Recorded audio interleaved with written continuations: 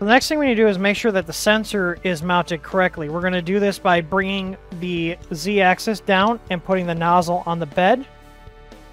And now the nozzle's on the bed, and you can see here I have the wrench that's included with the printers underneath the sensor. So we're going to go ahead and loosen these nuts up so the tip of the sensor is resting on top of this wrench, and then we're going to go ahead and tighten them down. We want the sensor mounted 2 millimeters higher than the nozzle.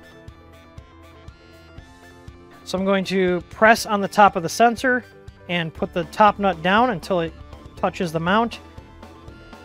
And then bring the bottom nut up. And we want to go ahead and tighten it up. Now I'm going to move this up to tighten it so I can get my fingers underneath there. Do not use a wrench to tighten these down. These are just plastic. So go ahead and just snug them up with your hands. And make sure the sensor is secure in there. So now if we bring this back down, our sensor should be resting on the wrench. And the nozzle is on the bed.